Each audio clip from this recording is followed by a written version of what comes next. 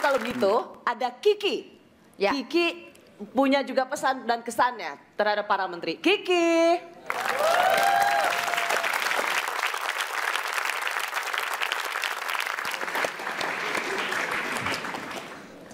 Semalam saya nonton FTV. Assalamualaikum dong, Kompas TV. Jawab, wawe wawe aja. Waalaikumsalam.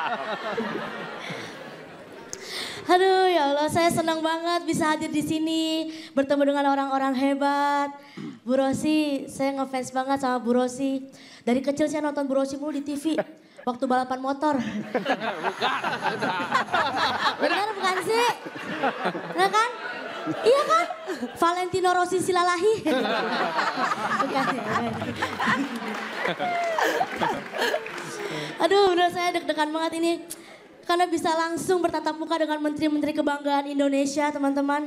Aduh, ada Ibu Susi Pujastuti, Menteri Kelautan dan Perikanan.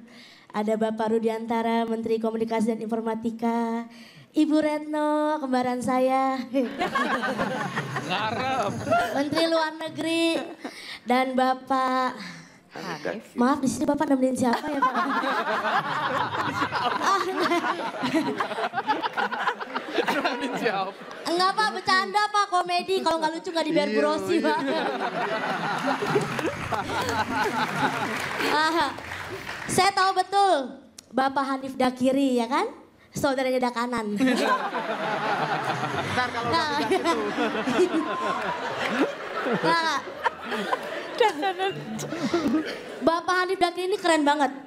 Karena beliau adalah Menteri Ketenaga Kerjaan. Dan juga sekarang merangkap sebagai Menteri Sementara Pemuda dan Olahraga.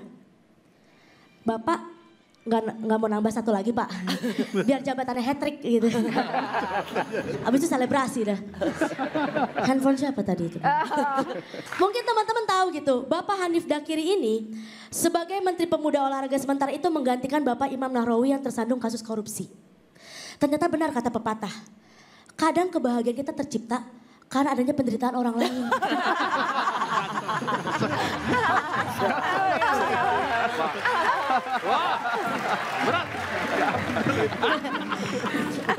Tapi tadi teman-teman lihat ya, Pak Hanif ini sobat ambiar di Kempot. Oke, nyanyi bareng Pak. Apa? Cendol dawet seger cendol Iya. cendol. Cendol cendol. Cendol ting tang ting ting tang.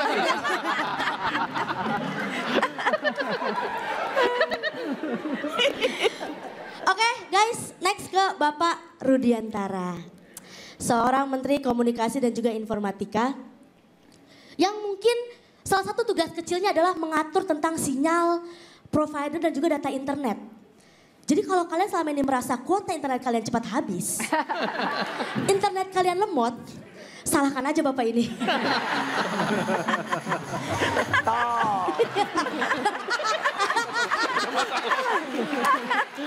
Iya kan?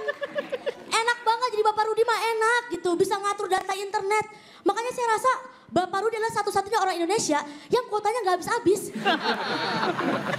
eh, saya mah yakin Pak Rudi tuh nggak pernah ngerasain lagi WhatsApp gebetan atau checklist satu. Gak pernah Pak Rudi mah, gak pernah ngerasain. Buat Pak Rudi itu lagi nonton YouTube, gak pernah lemot gitu. Apa itu buffering? Orang beliau yang punya. Tapi ada satu juga tugas dari seorang Menkominfo, yaitu adalah memblokir status, eh status, memblokir situs-situs dewasa. Tahu ya?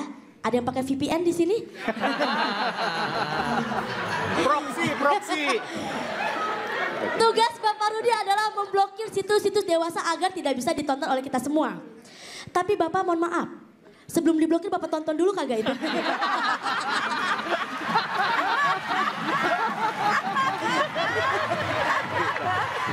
Saya mau jawaban. Kalau nggak ditonton gimana tahu harus diblokir. iya. Makanya saya tuh mau nanya begitu. Pak Rudi, sebulan ini udah ada berapa video yang Bapak tonton? Eh, Bapak blokir. Wah, nggak bayar. Pembunuhan karakter. Tapi, tapi beliau ini adalah salah satu menteri yang sangat milenials. Karena hobi beliau adalah main Mobile Legend. Iya. Serius, ya kan Pak ya? Makanya kalau setiap pagi mau ke kantor tuh, uh, Pak Rudi semangat banget. Karena sampai kantor dia mabar sama stafnya. Bukannya kerja, malah mabar. Mabar, mabar. Main bareng Bu Susi. Oke next kita ke Ibu Retno Marsudi. Tepuk tangan untuk Ibu Retno karena beliau adalah satu-satunya perempuan pertama. perempuan pertama yang berhasil menduduki jabatan sebagai Menteri Luar Negeri Indonesia.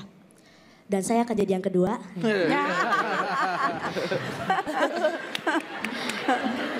Kalau ada orang dalam.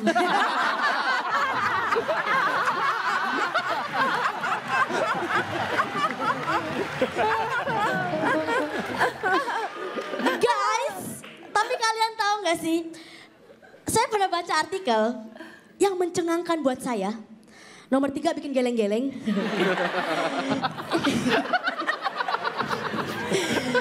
Bahwa Ibu Retno Marsudi punya hobi yaitu mengoleksi bandana. Ya Allah imut banget kayak anak TK.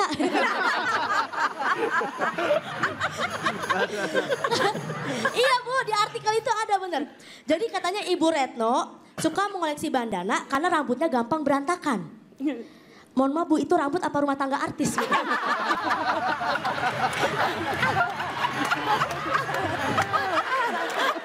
Gampang berantakan.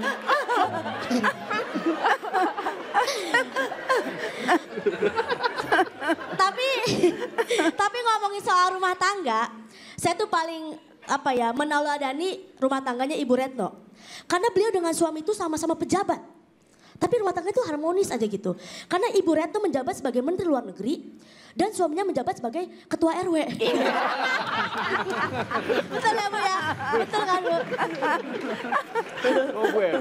Luar biasa emang. Seimbang sekali.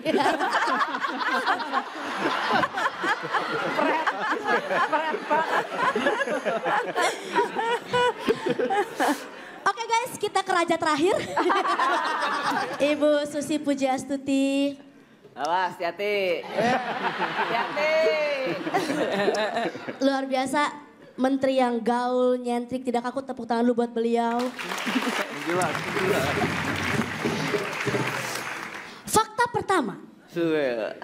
Ibu Susi dipilih oleh Pak Jokowi sebagai menteri dengan alasan yang sangat out of the box. Incredible. gitu, biar keren aja gitu depan Bu Susi. Emang Bu Susi doang bisa ngomong bahasa Inggris. Jadi saya saya baca artikel gitu.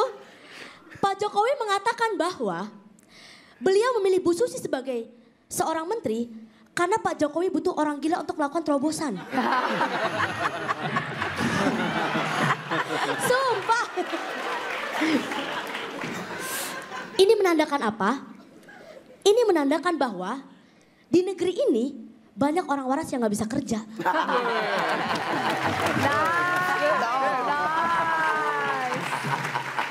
Ayo jadi orang gila. Dan yang keren dari Bu Susi adalah beliau ini mengabdikan dirinya berpuluh-puluh tahun untuk memajukan komoditas hasil laut terutama dari daerah kelahiran di Pangandaran. Dan seluruh nelayan di Pangandaran itu menyebut Bu Susi sebagai putri laut. Oke. Putri laut dari Pangandaran, pantai selatan Jawa Barat. Apa maksudnya? Mohon maaf Ibu. Apakah Ibu titisan Nyi Roro Kidul?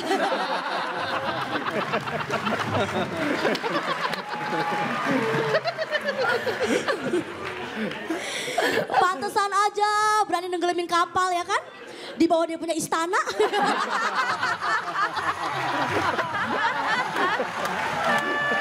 Terima kasih saya Kiki Saputri.